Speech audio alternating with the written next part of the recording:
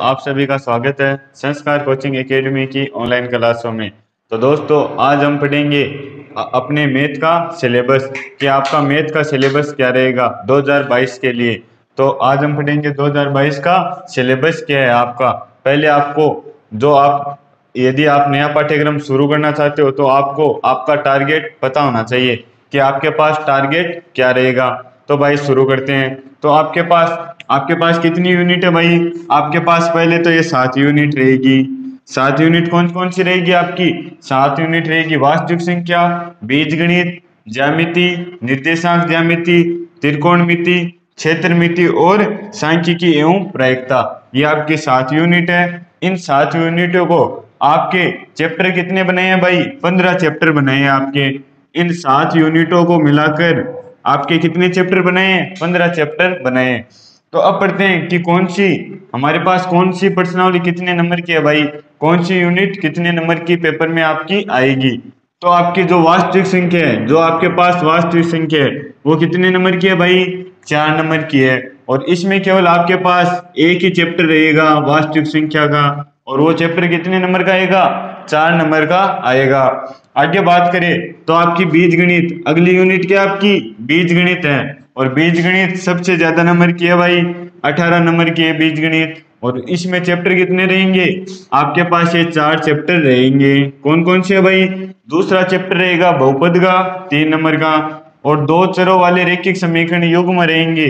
आपके पास छह नंबर के, यानी ग्राफ वाला प्रश्न रहेगा इसमें छह नंबर का। ठीक है? और आपके द्विघात समीकरण रहेगी, चार नंबर की। और समांतर श्रेणी पाँच नंबर की रहेगी। तो ये चार यूनिट मिलकर आपकी, ये चार चैप्टर मिलकर आपकी बीज गणित की यूनिट बनाएँगे, जो कि आपकी कितने नंबर की रहेगी भाई? अठारह नंबर की रहेगी। तो जिसको अच्छे नंबर लाना है, वो अठारह नंबर तो पहले कवर कर ले। आगे की बात करूँ मैं तो आपकी ज्यामिति रहेगी। क्या रहेगी भाई? ज्यामिति। और ज्यामिति कितने नंबर की आपके? पंद्रह नंबर की ज्यामिति है। और इसमें कितनी प्रश्नावली आपके? कितने चैप्टर है भाई? तीन चैप्टर है, जो कि छठा छठी प्रश्नावली त्रिभुज की रहेगी, वो आपके चार नंबर की रहेगी भाई, ठीक है? और वृत्त दसवीं चैप्टर क्या रहेगा आपके पास? वृत्त के बारे में। वो कितने नंबर का रहेगा आपका? पाँच नंबर का रहेगा।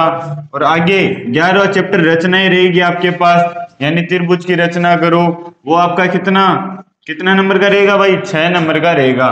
तो ये तीन यूनिट मिलकर आपके कितने नंबर पक्के करेंगे भाई? पंद्रह नंबर पक्के करेंगे। आगे बात करूँ मैं अगली यूनिट की तो आपकी चौथी यूनिट रहेगी निर्देशांक ज्यामिति। और निर्देशांक ज्यामिति कितने नंबर की रहेगी भाई? छह नंबर की। और इसमें कितने कितने चैप्टर है भाई? इसमें केवल आपके पास एक चैप्टर है। यानी एक चैप्टर को कंप्लीट कर लिया तो छह नंबर तो आपके बोर्ड पेपर के लिए पक्के हो गए भाई। इसकी टेंशन तो आप छोड़ दो। आगे बात करूँ मैं तो आगे आपकी त्रिकोणमिति रहेगी, वो आपके बारह नंबर की रहेगी। यानी बहुपद, यानी बीज गणित के बाद सबसे ज़्यादा नंबर किसके भाई? इसके और ये सांख्यिकी पंद्रह नंबर की। तो आपको ये तीन यूनिट तो आनी चाहिए भाई। तो आपकी त्रिकोणमिति कितने नंबर की रहेगी? बारह नंबर की। और त्रिकोणमिति में कितने चैप्टर आपके पास? दो चैप्टर है, आठवां और नौवा। आठवां में, आठवें चैप्टर में आप क्या पढ़ोगे भाई? त्रिकोण मिति का परिचय पढ़ोगे। और नौवे चैप्टर में क्या पढ़ोगे? कि त्रिकोण मिति के अनुप्रयोग, यानी त्रिकोण मिति कहाँ पर काम आती है। तो आपकी आठवां चैप्टर आठ नंबर का रहेगा भाई, और आपका नौवा चैप्टर चार नंबर का रहेगा। आगे मैं बात करूँ तो हमारी है क्षेत्र मिति, यानी क्षेत्रफल निकालना, वृत्त का, बेलन का, गोले का।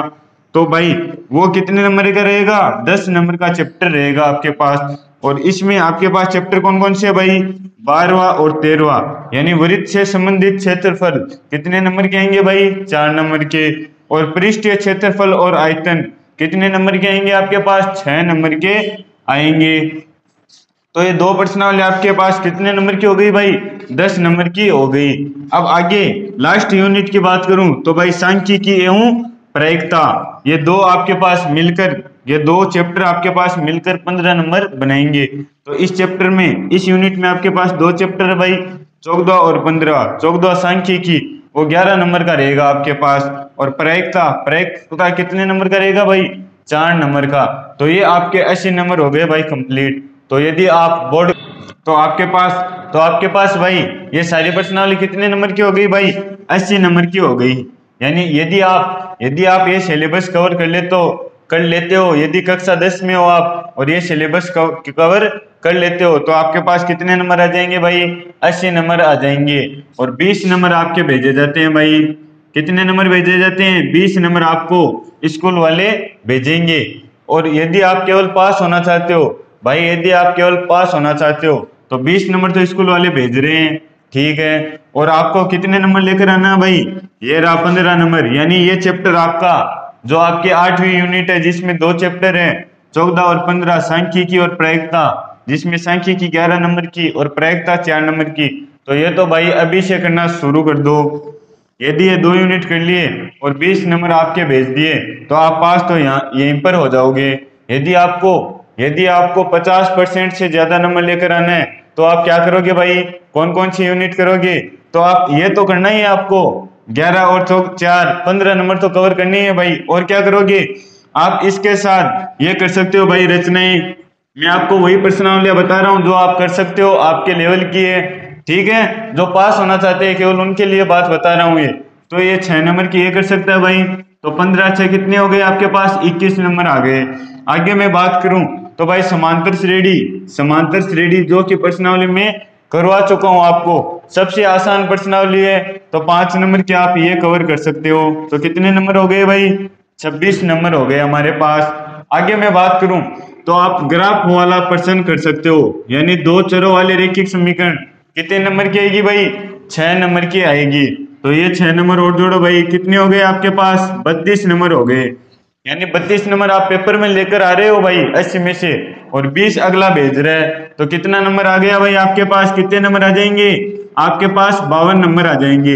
यानी आप पचास परसेंट से ज़्यादा मार्क्स लाकर ले, लेकर आ सकते हो। और गणित में यदि आप ये लेकर आ गए तो आपको फेल करने वाला कोई नहीं रहेगा भाई।